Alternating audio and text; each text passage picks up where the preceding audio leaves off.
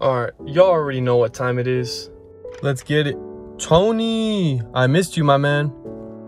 Dude, you're always prepared, bro. You good? Alright, let's see what Devin has for us. Devin, my favorite villager. Oh, damn. Hey, you know what, man? Go get yourself something to eat, man. You deserve it.